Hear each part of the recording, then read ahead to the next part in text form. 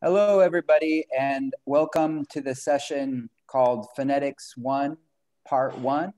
Uh, we have three talks in this session. Uh, we're handling uh, question and answer in the chat. Uh, so when the talk is finished, please um, uh, feel free to ask a question in the chat. Uh, the title of our first talk is uh, called Identifying the Correlations Between the Lexical Semantics and Phonology of Sign Languages, a Vector Space Approach.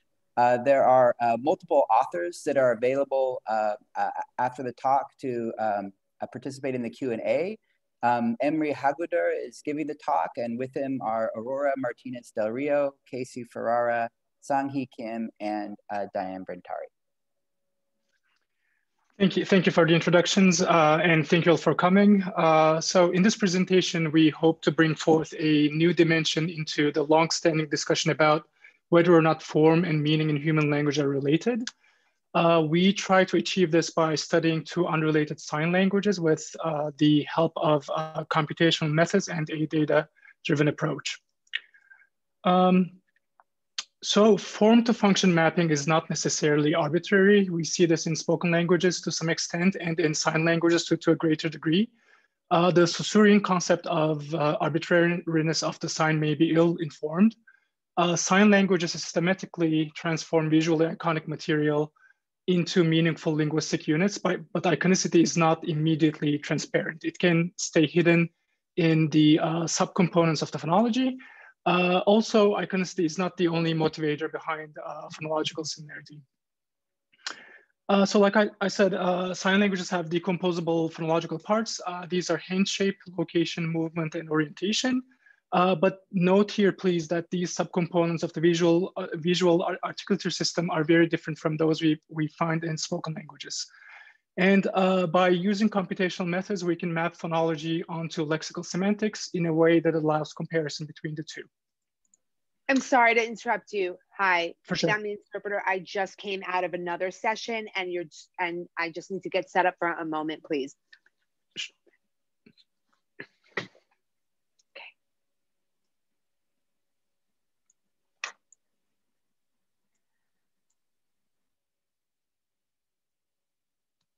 Okay. Uh, so what should you expect to find in this presentation? I will first briefly present a high level background on uh, semantic vector spaces, and then jump straight into how we built our models and present analyses and findings, and, and then finish with uh, what's still hanging and the results that, that our study shows. Um, so the main question that we seek to answer is how is phonology distributed across the lexicon? So what phonological parameters are shared within clusters of semantically related signs? and which ones have a distinctive function. Does any of the phonology come for free? Uh, more specifically, does iconicity or the visual modality facilitate any of these processes? Um, similar studies have been carried out in the past, but only in focused and uh, small pockets of semantically related uh, spoken or signed words. Uh, but can we study the entire lexicon of a language using quantifiable methods? And also additionally, what we're not trying to achieve is a comparison between uh, spoken and sign languages. The phonological system, systems are, are not easily comparable if, if they are at all. Uh, so we combine phonological transcriptions and semantic vector embeddings of uh, two unrelated sign languages and look for correlations. Uh, this will allow us to make uh, cross-linguistic generalizations and maybe even extend them into the visual modality. Uh, the language that we study are American Sign Language, ASL, and British Sign Language, BSL. And we hypothesize that decrease in semantic, uh, in semantic distance correlates with increase in phonological similarity. So signs that are closer in meaning will share certain phonological features. Um, here is a, uh, here are some visual examples for you that de demonstrate what we mean. Uh, these are three signs in American Sign Language that can be semantically grouped together as verbs of, uh, of cognition. Uh, so this is the sign for think. This is the sign for know. And finally, the sign for um, dream. So all three signs share the same place of articulation, which is around the temple, and they differ in their movement and handshape specifications. we can loosely argue that the semantic notion cognition corresponds to the phonological specification around the head. Uh, before moving further, a little background on uh, vector space models, if, if you're not familiar with them. Uh, so distributional semantics says that words that occur in similar contexts must be semantically similar. So consider the representation below. We can paradigmatically replace each word with a semantically salient substitute. So then we can assume to a degree that the meanings of all these alter alternatives should be related in the human lexicon. Um, and words can be represented mathematically as high dimensional vectors. Uh, here is a uh, impressionistic representation, re representation of vector spaces. They usually have uh, large numbers of dimensions, usually in the low to mid hundreds. I'm sorry, and, I'm going to have to stop you again because for sure.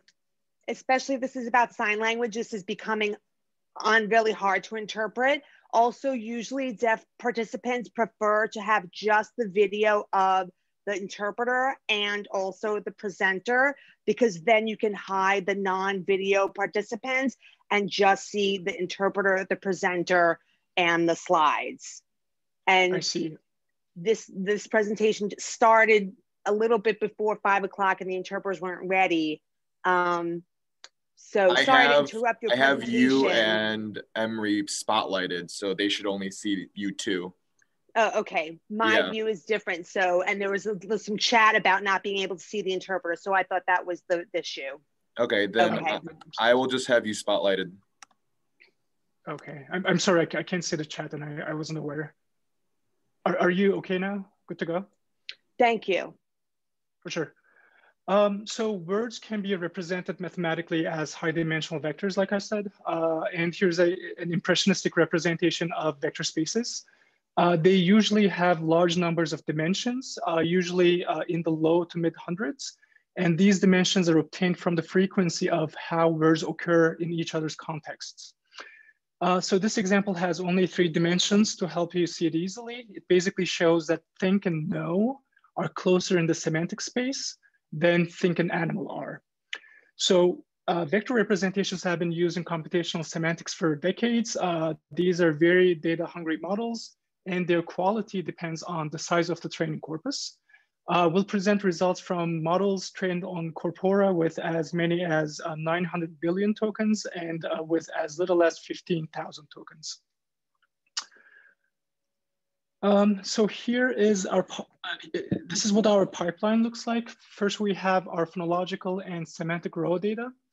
Then we intersect the two and work on the over overlap, which is around uh, 2000 uh, tokens, depending on the portion of the lexicon that we're studying. And uh, after certain transformations, we build our um, mo models with respect to certain parameters and finally uh, analyze each of them.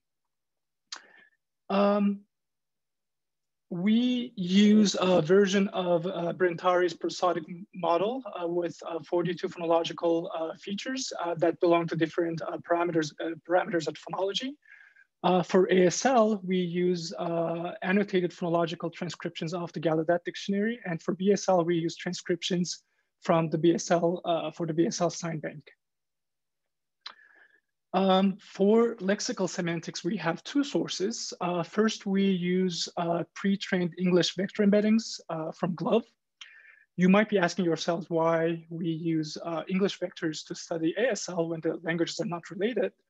Uh, but the answer is because theoretically, regardless of the language of the corpus, the training process will wash out structural relations and uh, what we're left with will be very similar semantic spaces across languages.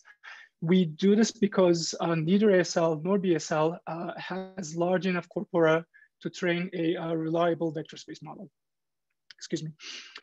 Uh, that said, we wanted to replicate our findings using native ASL data. Uh, we did that with uh, BU's ASL corpus.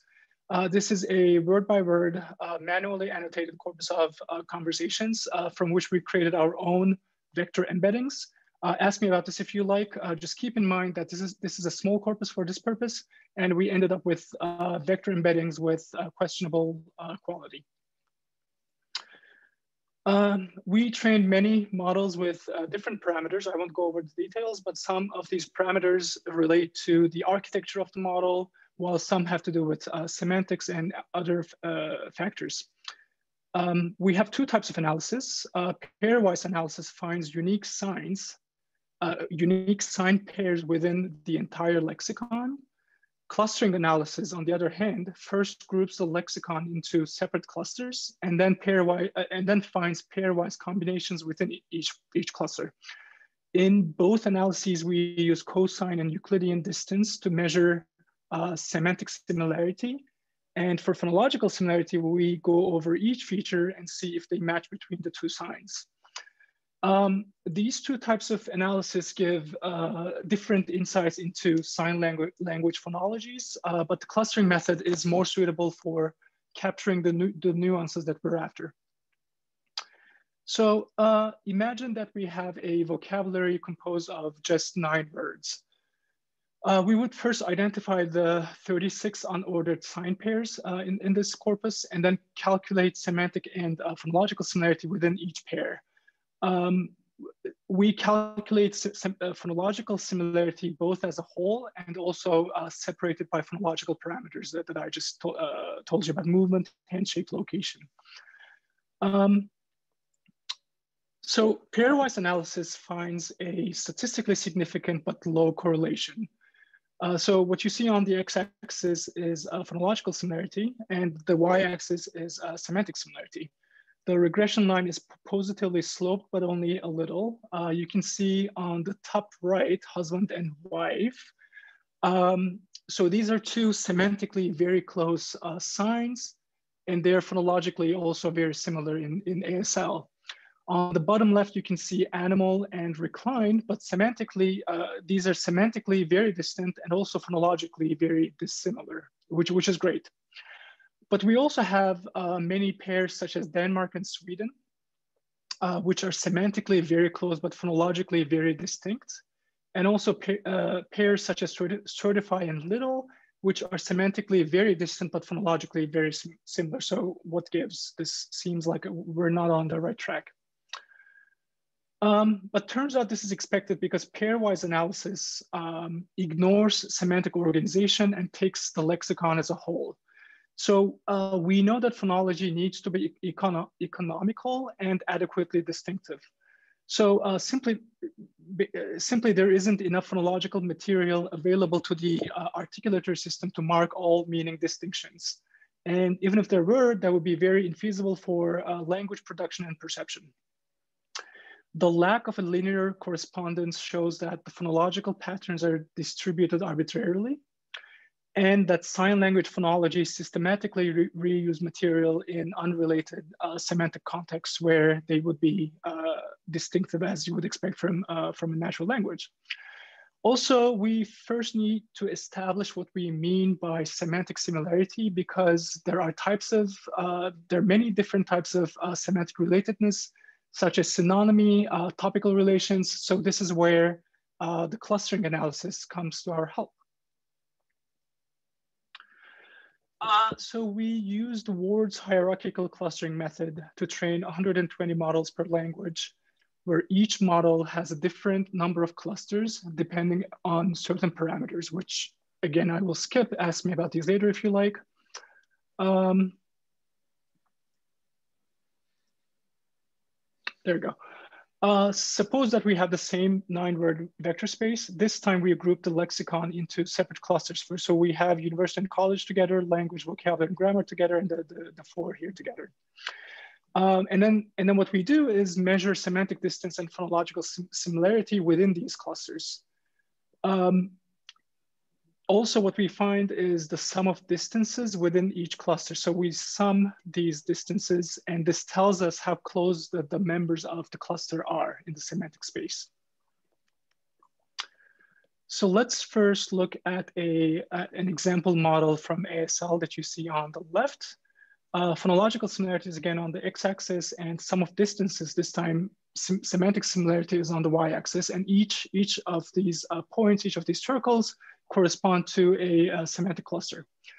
So uh, we see that phonological similarity correspond, uh, correlates meaningfully with semantic distance as semantic distance in the cluster decreases, phonological similarity increases.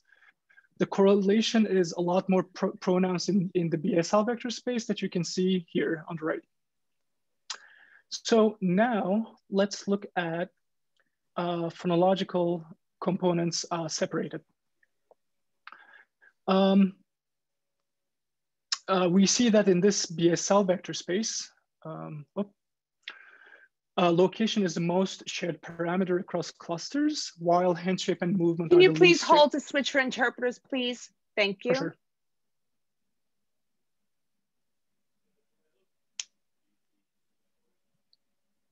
Thank you. Mm -hmm.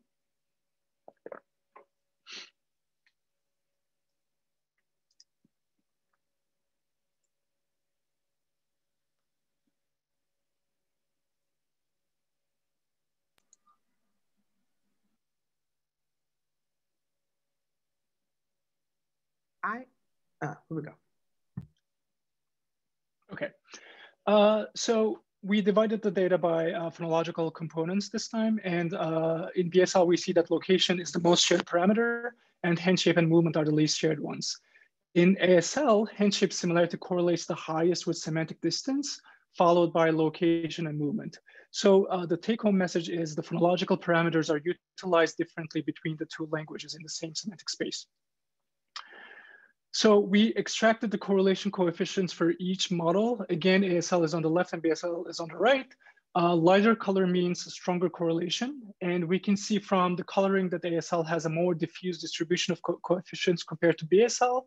And both languages display a similar, a stronger correlation between form and meaning when we train the model on the Wikipedia corpus, which is uh, the, the red box that you see here. And uh, we trained a five-way ANOVA to see which parameters explain the greatest uh, variance in ASL and BSL and found that the type of the training data and its number of dimensions are responsible for explaining the biggest portion. What this means is that we capture the correlations better depending on the source data and how it is uh, semantically organized. Um, so semantic distance is a significant indicator of phonological similarity in sign languages, and the two have a strong correlation when the lexicon is organized in certain ways. Uh, phonological features are not equally utilized. Taking into account the entirety of our models, we see that movement tends to be shared more, while handshape is, is the most salient uh, phonemic component of the phonology, uh, meaning it's the most distinctive parameter. Um, so can we uh, project phonology onto semantic space visually? Uh, yes, we can do it with t-SNE, which is an algorithm that squishes a high dimensional space and projects it onto a low dimensional one for, while preserving the majority of the relations. Also, what is, what is the, the advantage of this? And uh, let's see. So what you're looking at is the entirety of the ASL semantic space on the left and uh, BSL on the right. The colors encode the most salient distinctive component of the phonology for each cluster. Blue encodes hand shape, red is location, and gray is movement. Uh, for instance, in this cluster, uh, which is bound together semantically by the notion of royalty, uh, we have uh, king, crown, prince, princess, and whatnot, and these signs are distinguished by different handshape configurations within their cluster, while the rest of their forms remain mostly the same. We go to another cluster, um, so fruits, which are right here, and we see that the most distinctive feature that sets them apart is location, while hand shape and movement parameters overlap to a certain degree.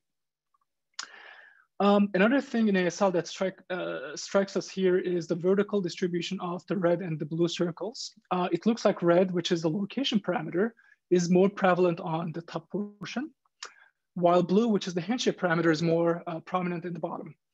Uh, when we look at the signs, we see that the red signs are more tangible concepts, such as fruit names, objects, weather phenomena, while the blue lines are more intangible ones, uh, such as names of sports, titles, uh, functional signs also, and a lot of verbs. So we believe that this compartmentalization might be a general effect of how the phonology digests iconicity into the system. When we look at BSL, uh, we see that hand shape is a lot more distinctive than location and movement, but we don't see a separation in the semantic, semantic topography like we do in ASL. Um, there we go. So, and finally, this heat map shows the results from our models uh, that we trained on native ASL data. Each cell is a model. Uh, the lighter the color, the higher the phonological similarity. Uh, to our knowledge, there's no gold standard as of now to measure the quality of these vector spaces for sign languages, but notice the rising trend as we go from left to right. It, it, becomes uh, brighter. Uh, and this overlaps with the observations on the architectural parameters in the literature that are associated with higher quality vector embeddings. So this tells us that phonological similarity increases systematically as we organize the semantic space of ASL with higher, with higher accuracy. Um, so um, in the future, we plan to test the psycholinguistic reality of the, uh, of the distinctiveness of the phonological components by obtaining human judgments. We also plan to find ways to identify accurately what semantic relations we're capturing. How am I doing with time? Oh, okay, great. Um, and um, all right, uh, we have shown that decreasing semantic distance means increasing phonological similarity and that high quality semantic organization is a precursor to capturing this phenomenon. We have also show, shown that this is not a, a phenomenon constrained, constrained to just a few corners of the lexicon. It is a general trend across the board with varying degrees of magnitude, uh, at least in the two sign languages that, that two sign languages that we study. Uh, one needs to dive deeper into the subcomponents of phonology, and uh, then we'll, we can uh, extract the similarities. Hand shape and location are the most dis distinctive phonological parameters in ASL and BSL. The visual modality seems, seems to bring with it movement at a low cost. The lexicon uses iconicity and its linguistic extensions, extensions to the language's advantage. Uh, but this is not to say that sign languages, uh, sign language phonologies are not systematic. They, they most certainly are. Additionally, we have shown that sign language phonologies behave differently cross-linguistically. And uh, finally, pairwise analysis has shown that phonology is arbitrary and has a limited amount of material available to encode uh, meaning differences and that uh, it distributes those resources economically. On the other hand, clustering analysis shows that uh, when we organize sign lexicons uh, in, uh, in certain ways, the correlations between phonological and semantic similarity get stronger, uh, and that said, uh, while semantic proximity is a highly significant indicator of phonological similarity, it is not the only factor since we're not able to fit the entire lexicon of a language neatly on a regression line. And uh, thank you very much for listening. Great. Thank you so much uh, for that talk. Um, we still have uh, seven minutes uh, left for questions. Um, if people have questions, you can put them in the chat or you can just say, I have a question in the chat and raise your hand and then I can unmute you and you can ask uh, your question. All right.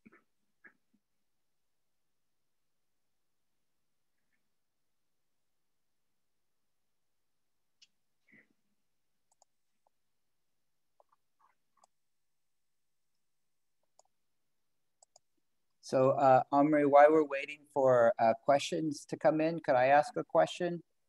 Mm -hmm. uh, Please so, go ahead.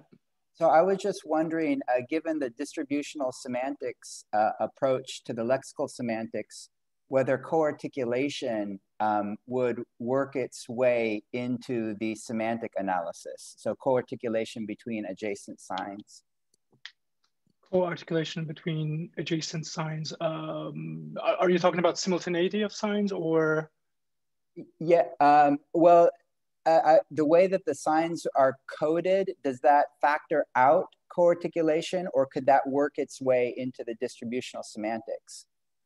Uh, I believe it, actually, this is one of the questions that we uh, had in the beginning, but we just like had to find a way around uh, co-articulation. Um, the problem is I'm not the phonologist here. I'm pretty sure somebody else from my um, from the group can answer this better. But yes. Okay. Well, we we, we have some um, some oh, other uh, yeah. questions coming in as well. Um, uh, so we could. So yeah. yeah. Mm -hmm. So Amelia Becker's question, did you control for morphological similarity? Uh, we did not control for anything, actually. We just uh, used the vector spaces and uh, with different parameters, we believe we did we captured different uh, relations. Uh, for example, you mentioned phonological symmetry between wife and husband. Both these signs are derived from compounds with the sign marry. Uh, how can we distinguish between phonological and morphological similarity? Um, this is a great question, and uh, the short answer is uh, we are not distinguishing between phonological and morphological similarity. Um, we are only uh, looking at signs as, uh, as having phonological subcomponents, uh, leaving morphology aside for now. Um, could you explain a bit more, uh, this is Albert's question, a bit more what it means to say that hand shape and location are more distinctive than motion in these languages? Um, so it seems like um, it, these subcomponents, these parameters of the phonology are not equal. Uh, it seems like uh, when we go to these clusters of signs, uh, we find a lot of overlap in movement, but we don't, we don't find a lot of overlap, for instance, in hand shape.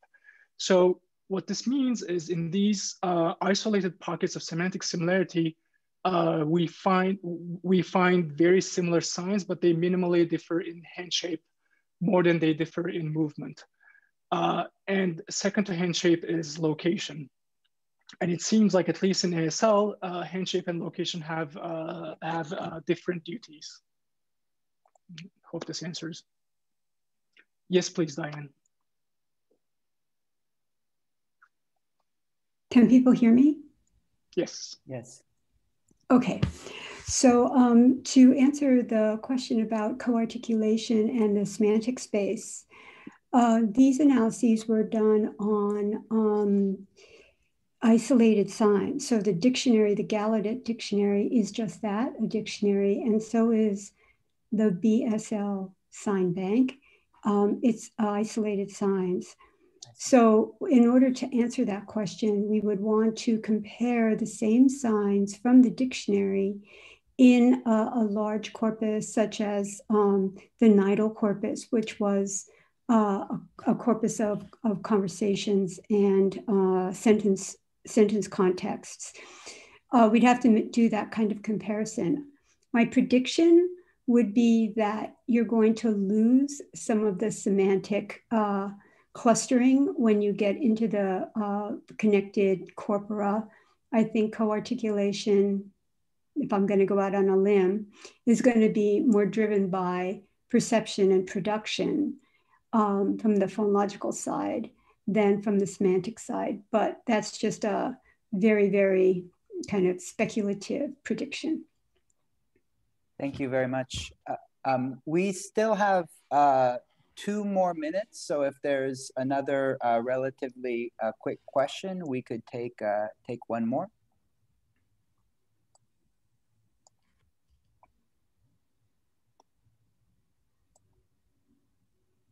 I wish people could just jump in instead of chatting, putting them in the chat.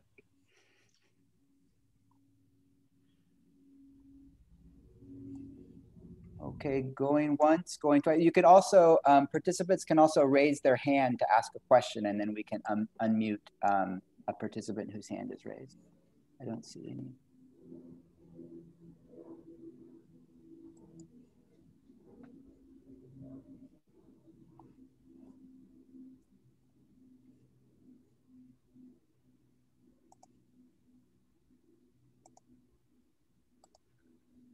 Okay, going once, going twice. Okay, let's um, let's thank our presenters for an excellent talk. Thank you. And our next talk will start in one minute at 5.30. Uh, sorry. 5.30 for me, 2.30 for other people, many other, so 2, 2.30 Pacific time.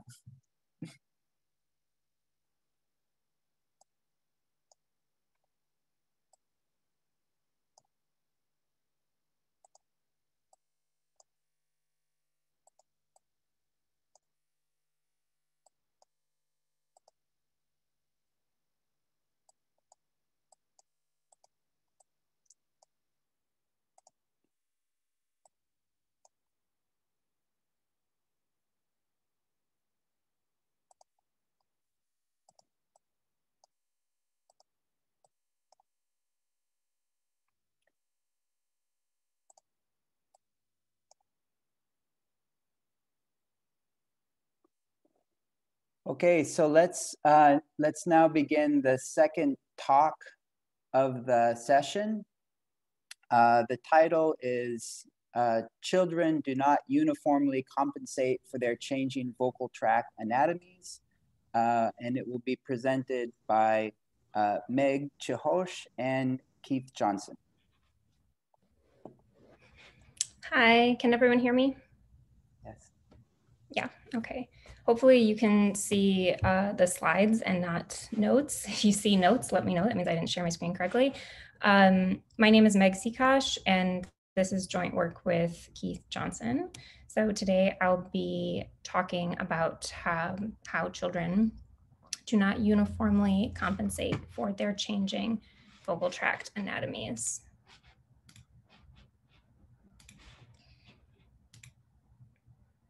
Okay. So vocal tract length differs by speaker gender, height, and age. To contend with this variability between speakers, we usually apply vocal tract length normalization functions that remove these anatomical differences and allow us to isolate differences that might be due to sociolinguistic or psycholinguistic factors. But for children, vocal tract length normalization might not be so straightforward. So children's vocal tracts are, of course, shorter than adult vocal tracts, but their morphology also differs from adult vocal tracts. So the ratio between the oral to pharyngeal cavities that changes over the course of children's typical development. So in infancy, the oral cavity is much longer relative to the pharyngeal cavity.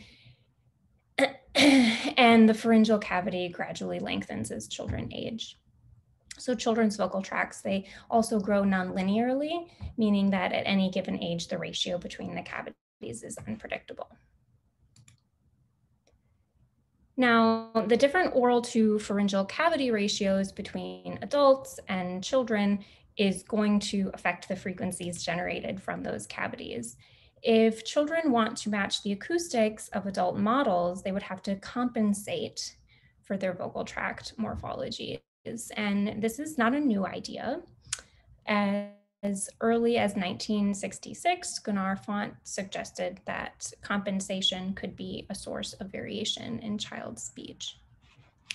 One way that children could compensate for their morphologies is to shift their lingual constriction into a more anterior position in the vocal tract. And that has the effect of artificially lengthening the pharyngeal cavity and approximates the oral to pharyngeal cavity ratios and thus ratio between resonant frequencies that adults have. And there's some evidence that children may do this. So there's two studies that I'm aware of, Ménard and all in 2007 had four and eight year olds produce real vowels, and then they compared those vowel productions to two simulations. One was an articulatory simulation, so they, they were um, uh, childlike uh, simulations, and the other one was uh, acoustic or adult-like target simulations. And then they compared those two simulations to the children's real vowels, and they found that the children's vowels matched the acoustic simulations better than the articulatory ones, as if the children were articulating like an adult. Um, and that suggests that the children are compensating by shifting their tongues. And I'm just going to take one second because something popped up in the chat and I want to make sure it's not from an interpreter.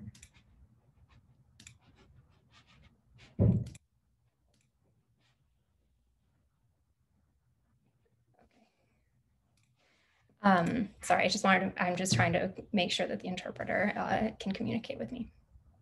Um, Turner et al. Uh, also looked at this and uh, performed an acoustic analysis of children's vowels.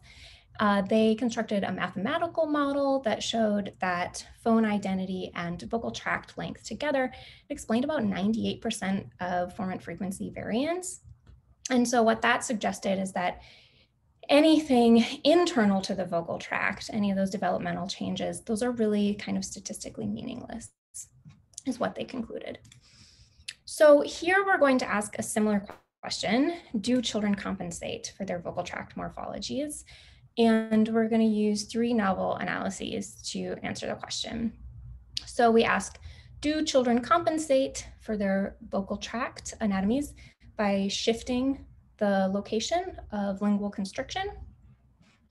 And we are also interested in how much children compensate. And so we ask, do all children compensate uniformly? So previous work hasn't ever evaluated variability between children in the degree of their compensation, but child speech is highly variable, so we predict that some children might compensate more than others. So first I'll talk about the data set used to answer these questions. So the data for this study come from a corpus of 86 children aged 4 through 10. These children were all bilingual speakers of Quechua and Spanish, uh, these vowel data were collected and cleaned for a different research project, so none of these research questions interact with the languages that these children speak. Um, in fact, we, we really don't have any reason to think that the results would differ for any other language study. And so this was just a, a convenience corpus to use for this question. The vowel data were elicited in a real word repetition task that targeted the peripheral vowels, i, a, and u, and the vowel always fell in stressed word medial position. And of course, it's pretty well known that it's difficult to reliably track formants in children's speech. So a triple formant tracker was built running three different trackers and the median formant measurement was taken from that tracker and then used for the analysis. And there were some additional kind of manual formant cleaning procedures that I can talk about in the Q&A if you're interested. So to estimate how well the children were compensating, we had to get two anatomical measurements. We had to get vocal tract length and we had to get the size of the oral and pharyngeal cavities. Vocal tract length was computed standardly from the acoustic vowel formants. And here are the results of the vocal tract length estimation. This is pretty standard stuff.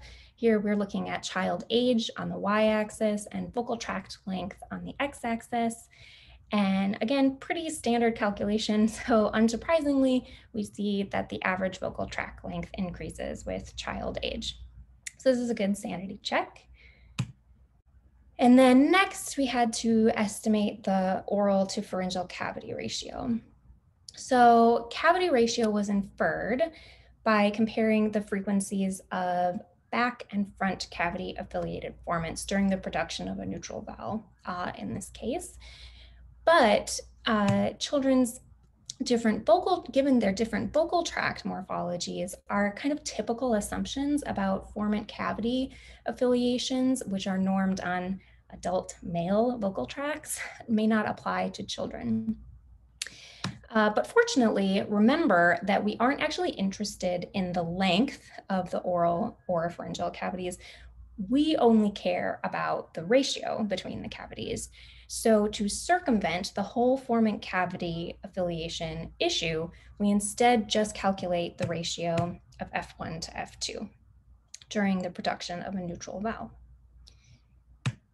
So using this ratio technique, uh, the prediction is that a smaller ratio of F1 to F2, that's going to indicate that the child was compensating more by shifting their lingual position. And a larger F1 to F2 ratio is going to indicate that the child was compensating less. And so in this way, even if the affiliated cavity changes between children, between tokens, um, we can still approximate the size of the children's cavities and thus how much the children are compensating by shifting their lingual position. So now getting to the results. So three analyses were conducted. The first one is modeling the impact of the F1 to F2 ratio and how and if and how it can explain variance in children's vowel production. So mixed effects modeling was used to evaluate the ability of the F1 to F2 ratio to explain variance in the children's formant frequencies. And two models were fit, one for F1 and one for F2. Unsurprisingly, phone identity explains a large amount of variability between and within children.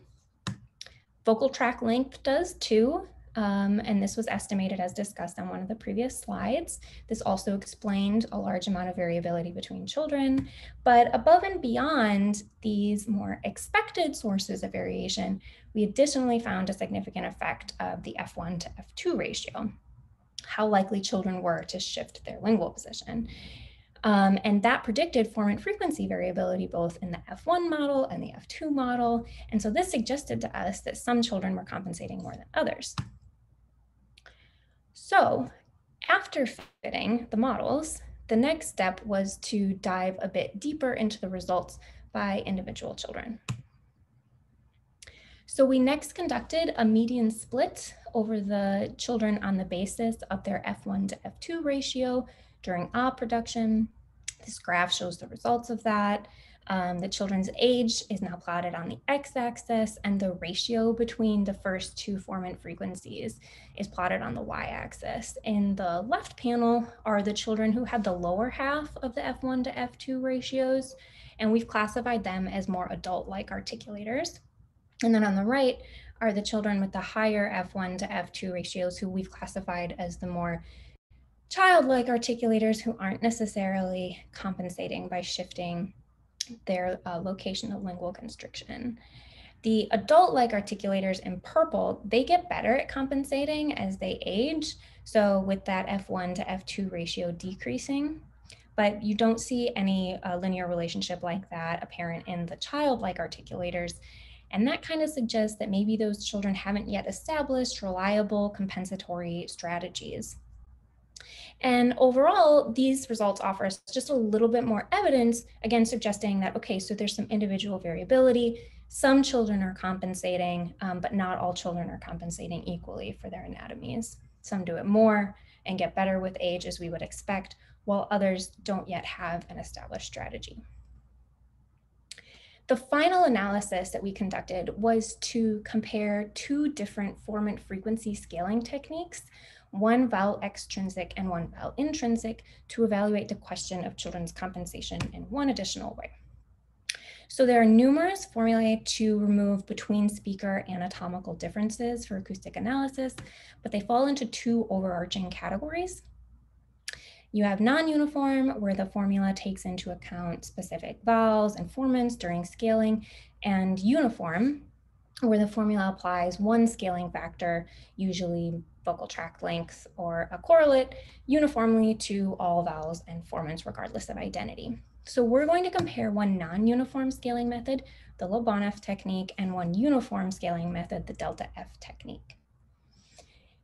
The reason for comparing uniform and non-uniform scaling methods is to compare how much between speaker variability we can remove by simply factoring out vocal tract length.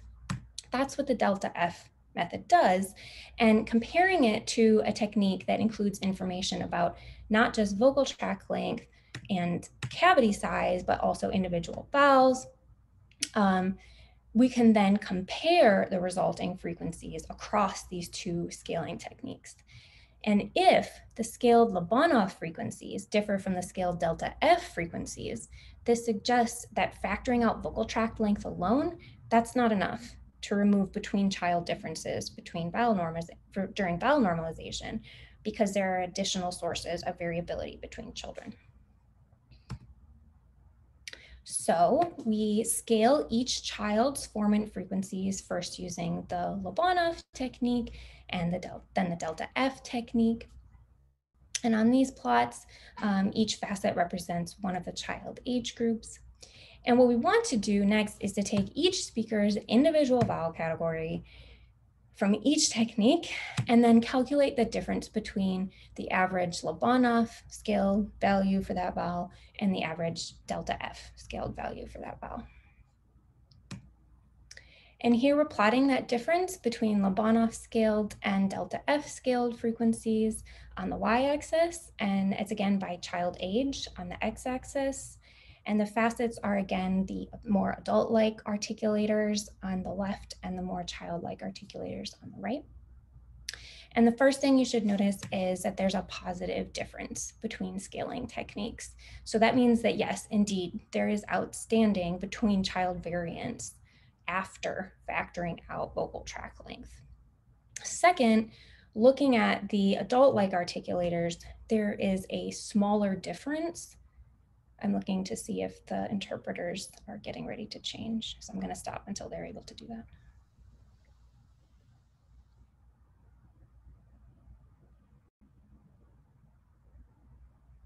Is it okay if I continue?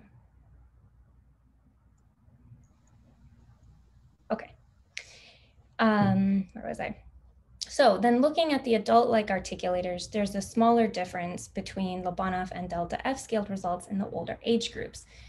So the older children are, the less outstanding variability there is in their speech that's not attributable, just to vocal tract length. But we don't necessarily see that same linear decrease with age in the childlike articulator group. So I'm gonna wrap up to sum up the results, we performed three analyses to analyze whether children compensate for their vocal tract anatomies. In the first analysis, we fit models demonstrating that the ratio between cavities explains additional formant frequency variance beyond phone identity and vocal tract length. In the second analysis, we performed a median split over the children and showed that the more adult-like articulators, they got better at compensating with age. And then finally, in the third analysis, we scaled the formants in two different ways and showed that there was outstanding variation when using non-uniform formant scaling. So answering the original research questions, we first asked if children compensated for their vocal tract anatomies by shifting the location of lingual constriction, uh, which we inferred in the three analyses we just summarized. And overall, the data suggests that yes, children do compensate for their vocal tract anatomies by adjusting the position of lingual constriction. And then next we asked, okay, so if children do compensate, do they do so uniformly? And the answer according to these analyses was that no, some children appeared to compensate more than others. Older children appeared to compensate more than younger, but there were still even some 10 year olds who had the same oral to pharyngeal cavity size ratios as the youngest children. And this signals to us that compensation, it might not develop linearly. So for example, maybe those older children, maybe they just experienced a growth spurt, for example. Now, at the beginning of this talk, I said that the two previous studies on this topic found that children did compensate for their vocal tract anatomies, but the results here suggest that that might not always be the case. But these results aren't really necessarily at odds with those studies. Remember that we found that children compensate, we just think that there are individual differences. Also, we believe that the differences between this study and that of the Turner study, at least, could have to do with the formant cavity assumptions made in that study. Turner et al. assumed formant cavity affiliations based off of adult male vocal tracts, most likely Peter Ladefoged, but our tech techniques circumvented this issue entirely because we use the ratio of F1 to F2. So it's just important to remember that many of the assumptions that we have in acoustic phonetics, they come from norms based off of adults and cisgender male adults at that, and so may not always apply to other populations. And just a few implications for a few areas in child speech development. Um, first, child speech is characterized by large amounts of variability, and the results here suggest that the degree of vocal tract morphology compensation could be a source of some of that variability. And then also traditional normalization methods um, that only factor out vocal tract length between adults that's usually sufficient for adult normalization, even though there actually are tract internal differences by gender in adults. But vocal tract length normalization alone probably isn't sufficient to normalize between children. You probably need to factor in the degree of compensation as well. Um, there are a few next steps that this research could take. Um, we could look at the different ways that children uh, compensate. So shifting their tongue constriction loca location is just one common strategy. Um, studying populations that have different visual experiences could have, be a good way to analyze this. So for example, there's evidence that children who are blind lower their oral cavity affiliated um, uh, their round for round vowel production um, by shifting their tongue and not by elongating their lips as sighted children do. And then we also think that there may be some individual variability in the extent to which children compensate. And so we should probably explore what predicts that variability. So it could be children who practice speech more. It could be exposure maybe to more diverse speech models. It could be if you have fewer growth spurts or if those growth spurts are more linear. Those are all interesting lines for future research. So thank you so much for your attention to this talk. Um, I've listed my contact information here and all the code and analyses are publicly available. I want to thank the families who participated and also Ron Sprouse, who um, developed the Python uh, ESPS wrapper that was used for the formant tracker. Thank you. Great, thank you very much. Uh, we've got um, uh, plenty of time for questions. Uh, let's see, some coming into the chat already. Uh, so uh, Will Styler says, great talk. I'm fascinated by the adult-like versus childlike speaker variation? Did you look for or notice any social or demographic correlates of this difference besides age?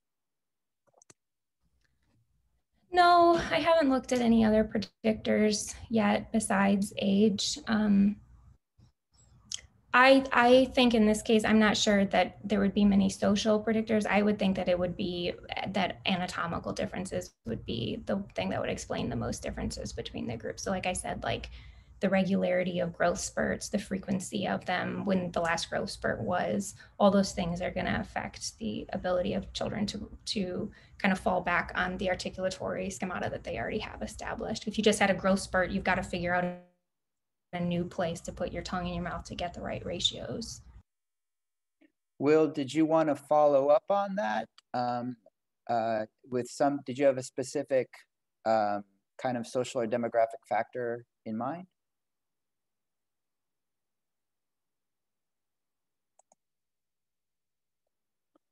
Uh, so the corpus was Spanish uh, Quechua bilinguals, right? So something like language dominance or exposure type factors. I wonder if that's what Will had in mind. Yeah, that, and that that's uh, that's that's possible, um, especially because the vowels were elicited in real words. They were elicited in Quechua words. So um, I have a talk on Sunday that talks about uh, exposure effects, not with this outcome variable, it's exposure effects on um, uh, phonetic patterning in morphologically complex words. But it would be interesting, I could do the same analysis to see if the degree of compensation in Quechua vowels is based on the children's uh, proportion of exposure to Quechua. That'd be really interesting. Um, another question uh, in the chat from uh, Andrew Cheng uh, says, hi Meg, uh, did I notice that boys in your sample had longer vocal tracts than girls as they aged? Yeah, sexual dimorphism, at least in North American samples, um, happens uh, anatomically, doesn't necessarily appear like if you just took like a measuring tape uh, and measured uh, boys and girls vocal tract lengths, it doesn't typically appear until maybe like eight. But in the acoustics, it appears as young as four. So basically, children are acting out um, gender by lowering the larynx, and elongating the lips. Um, so even if you had a boy and a girl matched for vocal tract length in, in North American samples, the uh, boy would appear to have a longer vocal tract because he's acting out gender. Um, I have no way of knowing if that is uh, similar in Bolivia. It could be that the boys and girls that I sampled in this, the girls really did happen to have shorter vocal tracts, like the four and five year olds, for example. So.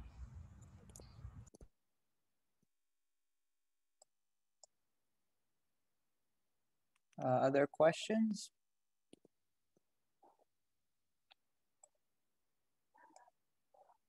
Um, I was I was kind of uh, I might ask a question. that's okay. Um, I was kind of wondering. So back, I, I might I might have just missed this, but back at the mixed models, um, uh, so did you explore interaction? So I guess what I was wondering if compensation could occur for some vowels and not others.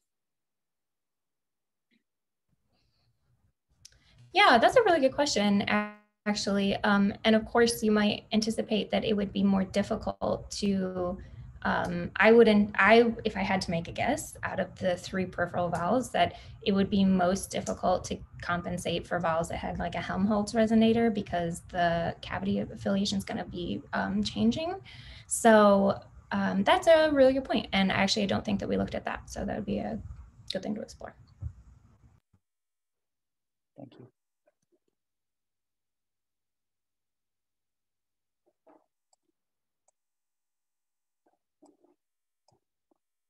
We still have um, a couple minutes before the next talk has to start. So if there's any questions, um, uh, please put them in the chat or raise your hand. Um, otherwise, I could keep asking questions.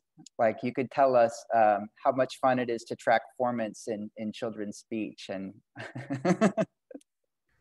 um, I should also say that my co-author, Keith, is here if you have a particular question for him. He um, uh, in, uh, developed upon the Delta F technique. So that's um, really his uh, contribution to the study. Hi, Keith. Um, tracking formants in children's voices is awful. It's worse the younger they are. um, the manual cleaning, so even doing a triple formant tracker, um, I, there was still an extensive manual cleaning procedure, just looking at like the distribution of vowels by uh, formant and mm-hmm. throwing out things that were just wacky. Uh, so it's not a light undertaking. So really, really think if your research question, if you're working with child speech data, really think if vowels are the only way that you can analyze the question, or if you could look at like fricatives or something else. Do that instead. um, let's see, one more question coming through in the chat. Um, uh, have you looked at their development uh, in Spanish as well. Uh, uh, this was. um,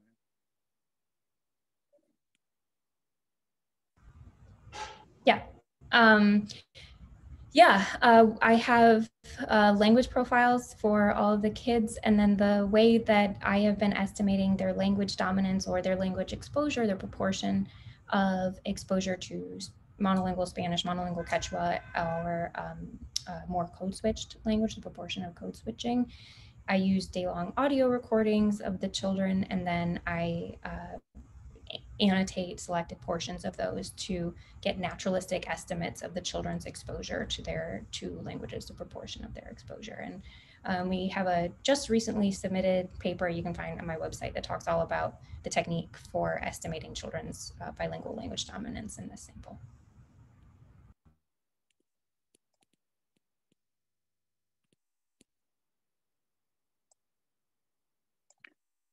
All right, so there might be time for one more quick question. Um, it comes in soon. Otherwise, um, we should uh, thank our uh, thank our speakers.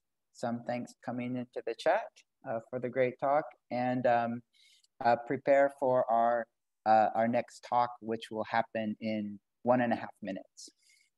Thank you. Thank you.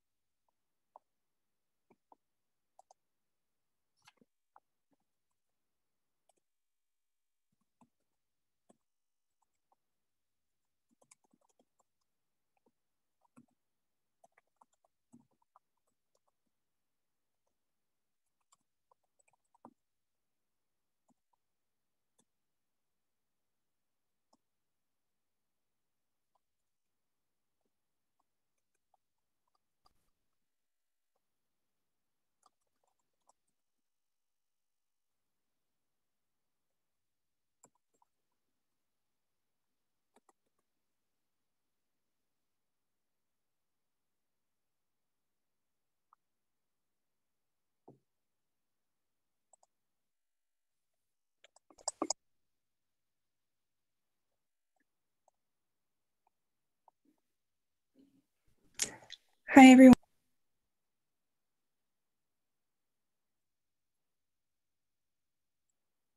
Just wanted to make sure you guys can see um, what I'm sharing. Yeah, it looks good. It's good. Okay. Whenever you are ready, I can cue the video. Okay. Uh, so this is our, uh, the last talk of this uh, session. Um, Phonetics 1, Part 1. Um, this talk is uh, recorded in advance, but the, um, the author, Elise Block, is, is here with us live and will be answering questions um, uh, after the talk. Uh, the title is uh, Cue weighting and phoneme specific, specific patterns in systems of quantity contrast, the case of Norwegian vowels. Specific patterns in quantity contrasts, uh, taking a close look at Norwegian vowel quantity perception. So an outline of what we go over today, uh, we'll start with a look at what quantity is and how it's realized cross-linguistically, and then continue on to an overview of some of the key theoretical concepts to consider when approaching um, analyzing phonological quantity. And then we'll move on to the meat of my presentation, the study on Norwegian vowels. And after that, we'll tie everything back together and take a look at what kinds of big pictures, and big picture implications, uh, data like those that I'll present have for our understanding of quantitative languages, um, and maybe explore some possible explanations. So a good question to start with is what is phonological quantity anyway? Um, quantity is where segment duration encodes lexical distinctions. So whether a segment is long or short matters. And this is typically two-way, so long and short, but in some cases, uh, we can have three or more distinctions, like in Estonian, where vowels can be short, long, or extra long. Um, both vowels and consonants can have quantity. You might be familiar with quantitative consonants called geminates. Um, and also quantitative segments often include some sort of compensatory effect on adjacent segments, um, typically like lengthening or shortening their duration. Some extensively documented examples of quantity include Italian, where we have long and short consonants, those geminates.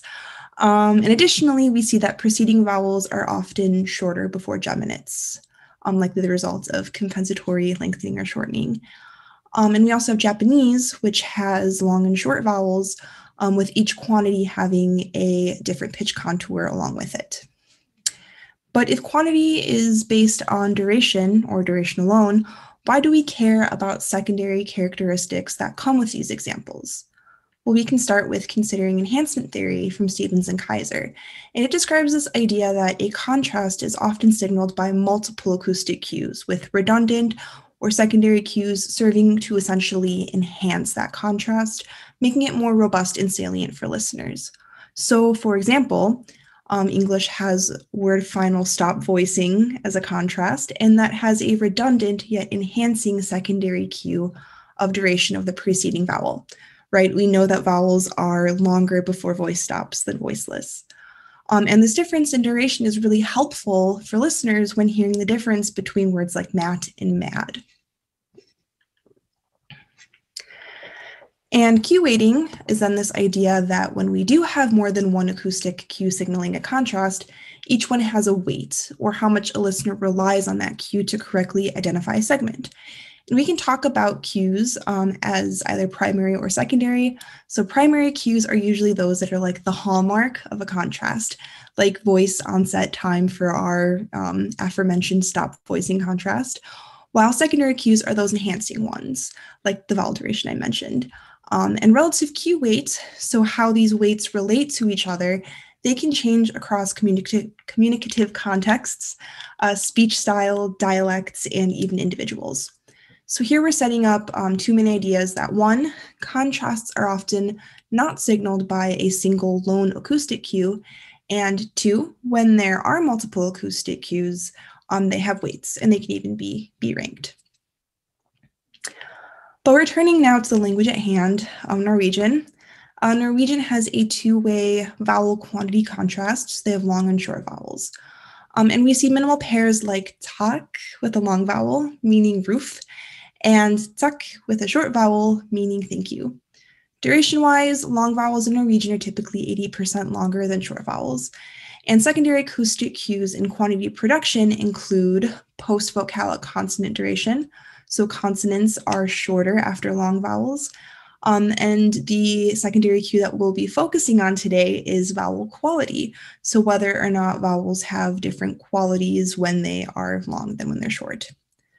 And the role of different vowel qualities across quantities, or even if there is one, has not always been crystal clear in the literature.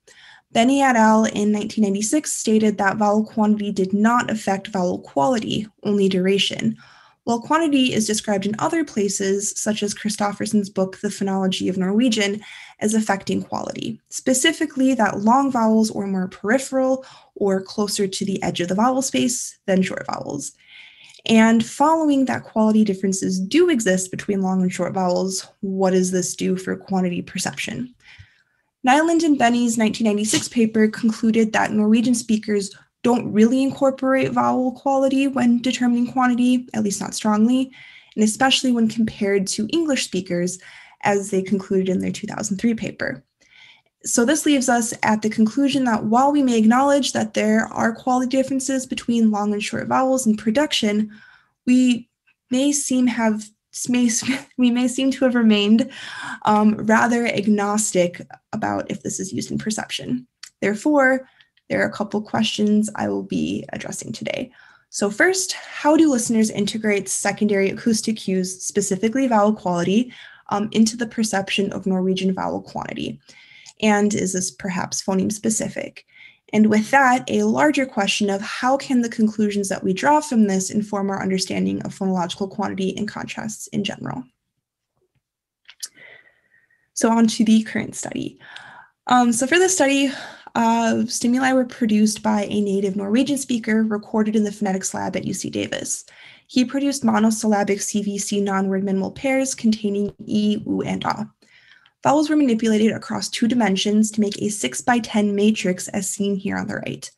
The duration continuum went from 70 to 160 milliseconds in 10, um, 10 millisecond increments, so, so 10 steps. And the quality continuum had six steps. The first and last step were based on the F1 and F2 measurements of the long and short vowels as produced by the speaker, and the middle steps were made by changing the first two formants and equidistant steps, making a gradient transition from one quality to, to the other. So this created 60 versions of each vowel, so 10 durations and six qualities. And then after, the vowels were spliced back into their CVC frames and the post-vocalic consonant duration um, was normalized to 110 milliseconds. So that was the average of, of after long and short vowels. 38 participants at the University of Oslo completed a forced choice pair discrimination task in Qualtrics, an online platform. Um, each trial contained two pairs of words. One pair contained the stimulus and the original production of the short vowel, while the other had the stimulus and the original long vowel. Participants were asked to listen and determine which pair contained the same or most similar word. Here I'll play, a, I'll just play an example for you. Bid, bid, bid, bid. So one more time. Bid, bid, bid, bid. So in that example, the vowels in the first pair had different qualities but the same duration, while those in the second pair had uh, different durations but the same quality. Participant responses were coded as indicating either long or short vowel categorization, and the data was modeled with a mixed effects logistic regression model. The mixed effects of the model included the main effects of uh, quality and duration and their interaction. And random effects included by subject random intercepts and slopes for the main effects and their interactions. Um, and I ran a separate model for each vowel. There were two main predictions. Um, so first, given that quality is in fact reliably and systematically observed in the production of vowel quantity, um, we can predict that it will be a significant predictor in our model used by listeners to determine vowel quantity. Second, the use of quality um, in perception may or may not be vowel specific. We'll, we'll see. So here um, we can see that the model for E and U both showed quality as a significant predictor, indicating that when perceiving the difference between long and short E and U, listeners used vowel quality as a cue. Interestingly, this was not the case for ah, where the model showed quality was not um, a significant predictor. In this case, listeners used only vowel duration. And we can take the estimated coefficients of our model to determine relative cue weights and from that um, cue order as well. So for ah, we only had duration as a cue, um, so it's, it's duration. But for E, quality had a higher coefficient than duration, suggesting that listeners relied upon vowel quality more than vowel duration when differentiating between long and short E. Contrastively, in the OO model, duration had a higher coefficient, suggesting the opposite, that listeners relied on duration more than quality when determining quantity. So not only does it seem to be vowel specific whether listeners will use uh, vowel quality at all, but the cue ordering also seems to be vowel specific. And here we can see how the proportion of long vowels, so along the y-axis there, um, changes across duration steps on the x-axis for each quality step, which are indicated by the different colored lines. And we can see how this looks different for each vowel, especially ah and, and e. So just to uh, quickly summarize our findings here, there are two main points to be taken away from the data. So one, vowel quality is indeed used by listeners in the perception of Norwegian vowel quantity. However, we see an emergence of phoneme-specific patterning. High vowels e and u included vowel quality while the low vowel ah did not. And the cue ordering based on the estimated coefficients in our model differed between e and u. So what can we what can we make of this? Well, the pattern of high vowels using quality differences and quantity distinctions is attested cross-linguistically. So uh, Mády et al. in 2007 found that vowel quantity contrast in Hungarian has eroded somewhat, with high vowels relying more heavily on quality differences than durational cues.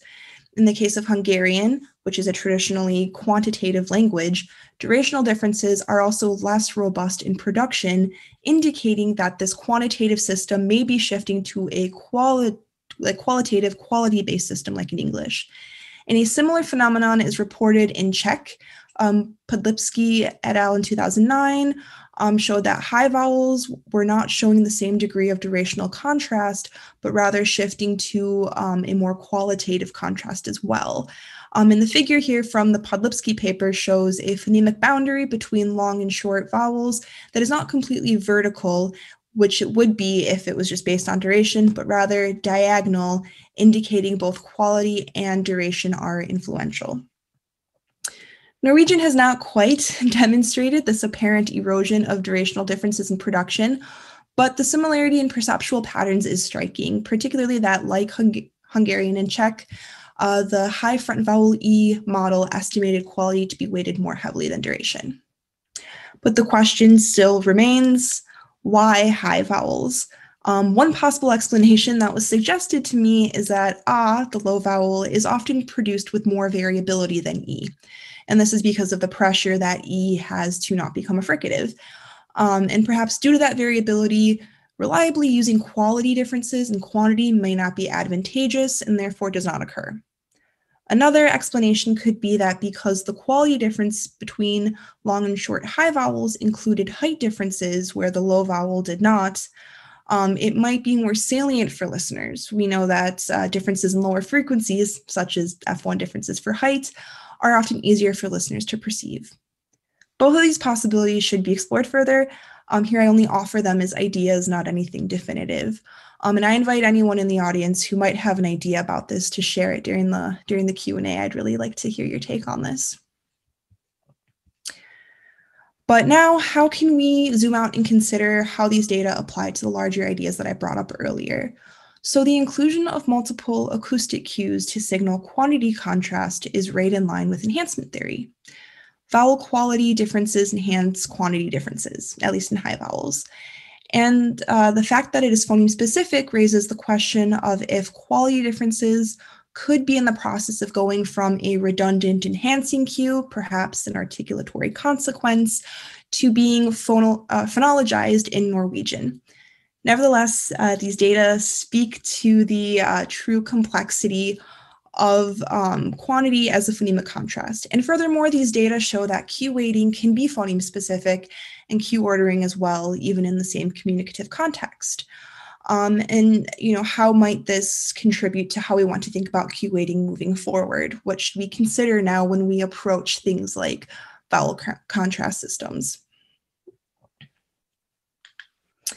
So this study, um, as with any study, is of course not without limitations. So the first is that this study um, only examined a subset of the vowel system, so three vowels, um, and it would really be worth it to look at the entire vowel system to get a more comprehensive account of how acoustic cues are used by listeners. Um, also, the fact that answers were binary did not allow for listeners to give answers such as, does not sound like either, or sounds mostly long but kind of short, etc., etc. Um, and lastly, the study only looked at non-words. I think it would really be worth it to also examine real words and see if lexicality could also affect cue weighting. Will we see a difference between real words and non-words, for example?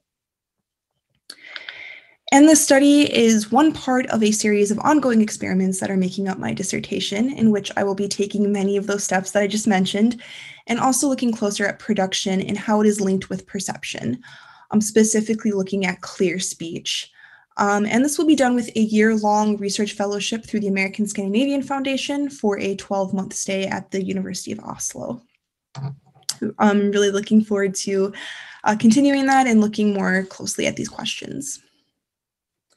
But before I wrap up here, I'd really like to uh, thank um, Sverre and the University of Oslo for hosting me and facilitating my data collection and say thank you to my advisor, Georgia, for her ongoing support and feedback in developing my research program.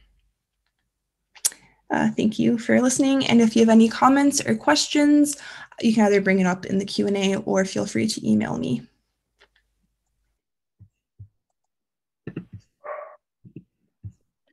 All right, thank you very much. And um, I, I, believe that uh, Elise is still here, right, to answer questions? Yes. I, okay, so um, uh, questions can be put in the chat window or hand can be raised, or you can just say, I have a question, and then um, I can call on you. Uh, yes, questions can be spoken, but you, ah, oh, there, okay. So Keith Johnson has his hand raised, hold on. Hey, Jason, I think I'm on. Oh, great. Yay.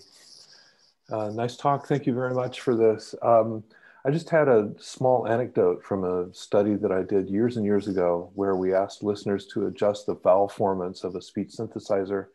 And I had a couple of listeners who spoke languages, uh, well, Serbian, um, where there's a length distinction but not a quality distinction. The synthesizer didn't give them length as an option. And so they, and I was asking about American English vowels. So the difference between heed and hid was not present uh, for those listeners. They adjusted the vowel formants of the synthesizer to exactly the same location.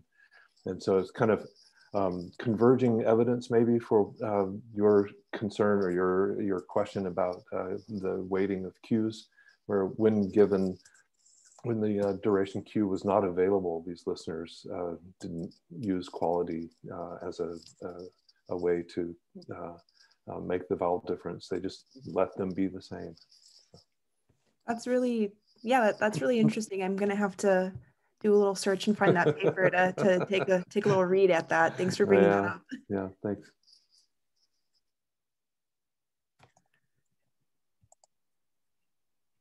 Do we have, oh, uh, Nina um, uh, has, a, has her hand up here. Uh, go ahead, Nina. Yes, thank you. Uh, thank you, Elise. This was um, very interesting, very clear. Hi, um, I, hey, I had um, I had a question about the the difference you found between e and u, um, and I was I was wondering if could could this be sort of um, reflected in, or maybe be the result of differences in how they're produced, so differences in the correlates that they have. So maybe quality is used more for one or the other. Um, my impression is that we don't have that many very systematic studies of the protect, uh, production of uh, quantity distinctions in Norwegian. So I'm wondering if you have any thoughts about this. Um, yeah, so that was actually exactly something that I kind of ran into when trying to do some background reading about this was that the production studies did seem to be a little all over the place. Um, my intuition, I guess, when I hear it, is that I feel that the difference between long and short E is comparable, I guess, to long and short OO, but of course, we can't just go off of our intuitions. Um, I do think that we might see a difference um, between E and OO, and that could be something that plays into why people really, really like quality for long and short E. Um, I haven't seen or done anything quite yet with that, but I'm hoping um, with the dissertation that I'm doing, um, I'm going to be looking at production. So hopefully I can answer that question in one to three years.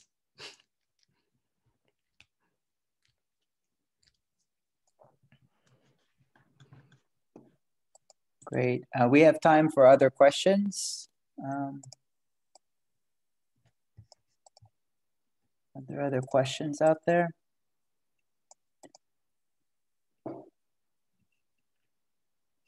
Um, Elise, I, I, have got a question. Yes. I was just wondering, um, uh, do you, so I thought you were suggesting that maybe the system is uh, changing or not particularly stable. Um, is that is that your view? What what direction do, do you do you see this as a possibly stable system or as unstable the way it's uh, uh, currently looks from your perception results? Um, so with my current study of three vowels, I feel um, making claims about the stability of the system is a little beyond my qualification, but um, I, I wouldn't say that it's not as that it's necessarily unstable as perhaps it's just maybe changing a little bit to start including quality differences. I don't think it's necessarily getting rid of duration differences, at least not at this point, like um, Hungarian and Czech seem to be doing. But of course, these processes take a long time, so there's no, you know, no reason to not say maybe in the future it could happen, but at least at this point in time, um, yeah, I think they're just starting to include quality differences um, to a larger degree now. Thank you.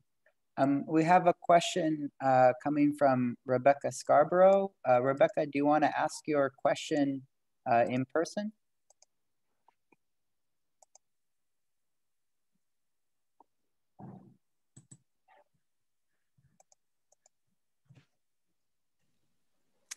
Sure, I can. Um, can you hear me? Hi, Rebecca. Hi, Elise. Um, I just had a really quick question. Um, I, I jumped in um, partway through, so I might have missed something. But um, you mentioned at the end the limitation of the binary response. Um, you know, you couldn't say this was sort of long, sort of short. So I was wondering if you had looked at reaction times, if you had reaction times um, that might give you a way to look at these sort of intermediate type judgments. Yeah, um, unfortunately, with uh, the way I had done the experiment the first time, I was not able to get reaction times looking back, I wish I had. But um, when I'm gonna go back and look at like the larger vowel system, I do want to include reaction times, but also those binary answers or non-binary answers. I mean, sorry, with like the kind of middle middle um, responses is a possibility. Um, but yeah, unfortunately, I don't have reaction times to look at at the moment. Sure, I think it would be super interesting in the future. Okay, the, the next question comes from uh, Alexandra uh, Pfiffner. Um, uh, Alexandra, do you want to ask your question out loud too? Can I? Can you hear me? Uh, you're a little quiet. Okay, let me see if I can fix that. Or, um, thank you for this. I was wondering do you think the difference can be partially attributed to the fact that lower vowels tend to have longer durations? So if high vowels tend to be shorter, then maybe a quality difference can really help compensate for the overall shorter duration in order to convey a phonological contrast. That's an interesting, yeah, that's an interesting point. I, I considered at one point the fact that uh, lower vowels were longer, um, but looking at the ratio, I suppose, between long and short vowels, um, it's not like the ratio between high vowels was much different than low vowels. So durationally, the contrast was very similar. but uh, your point of perhaps it's just less time to convey a duration difference, because while the ratio is the same, the actual raw difference in milliseconds is smaller. Um, that's a really great point, and I'm I probably will have to look at that more. I don't have an answer for you right now.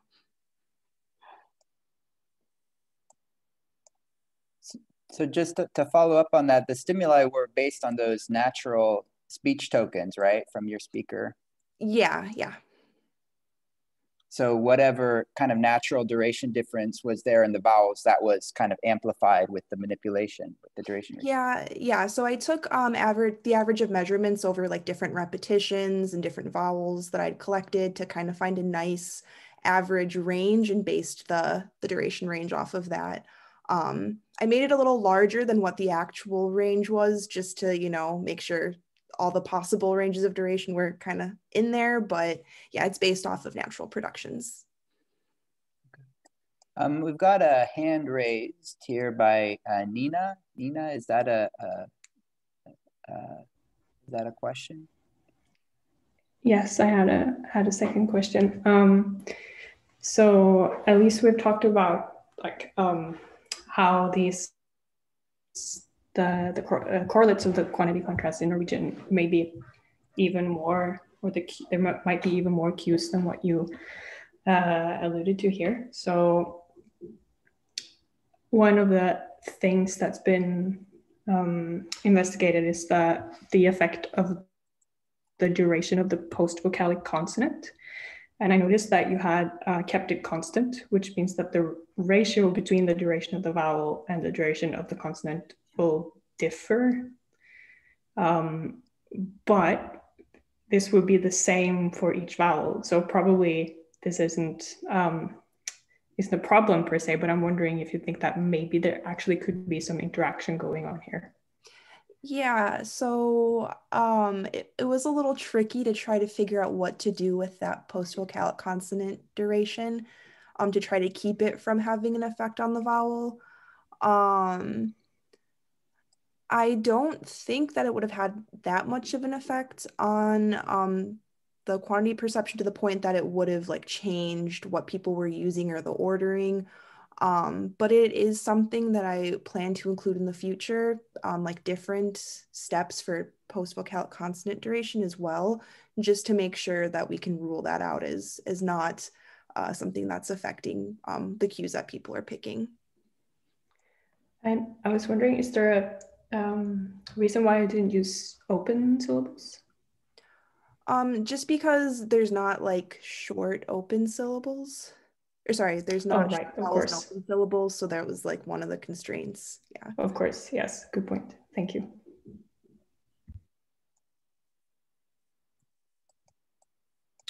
Okay, so um, we're coming close now to the time. We maybe have eh, uh, time for one more quick question if there's one out there. Um, otherwise, let's see, going once, going twice. Okay.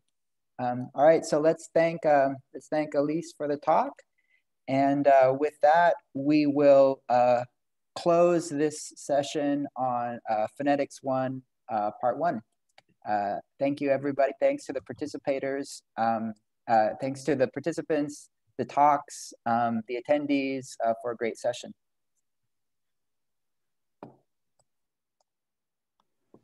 Thank you. Session's closing now.